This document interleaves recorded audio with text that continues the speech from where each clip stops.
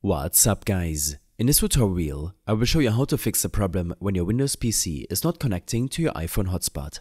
Let's start with your iPhone. First, go to the Personal Hotspot settings. Turn off the option that says Allow others to join. Wait a few seconds and then turn it back on. While you're still on the screen, enable Maximize Compatibility as well. This option adjusts how the iPhone shares its internet connection and can help certain devices connect more reliably. Keep your iPhone on the Personal Hotspot page while you attempt to connect from your PC. Now, on your computer, go to the bottom right corner of your screen where the Wi-Fi icon is located. Click on it and try selecting your iPhone's hotspot from the list of available networks. If it still fails to connect and you've used the hotspot before on this PC, it's a good idea to remove the saved network. To do this, search for Settings in your Start menu and hit Enter.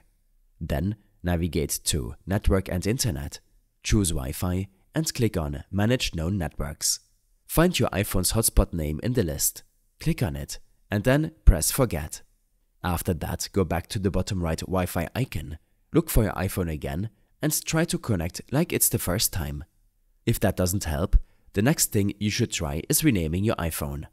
To do this, open the Settings app on your iPhone, scroll down and tap on In General, and then About and then tap the name field at the top. Rename your device and then tap Done. Go back to the personal hotspot page. Toggle it off. Wait a few seconds and then turn it back on.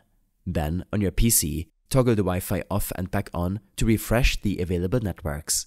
And look for the new name. Click on it, press Connect, and then enter the hotspot password when prompted. If none of that works, restart both of your devices. On your PC, click the Windows Start button, go over the right, click the power icon, and then select Restart. To restart your iPhone, swipe down from the top right to open the control center and tap on the power button at the top right. A drag to slide off screen will appear. Drag the slider to the right to power off the device.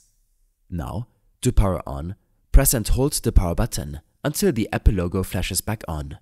When both devices are restarted, try reconnecting again and your iPhone should now connect with your Windows PC. If all else fails, try using a wired hotspot connection. Simply connect your iPhone to your computer using a USB cable. Once connected, your iPhone should begin sharing its internet connection with your PC just like a wired Ethernet connection. This method can be more stable if wireless hotspotting continues to fail. I hope this helped you out. Leave a comment if you have any questions and see you in the next one.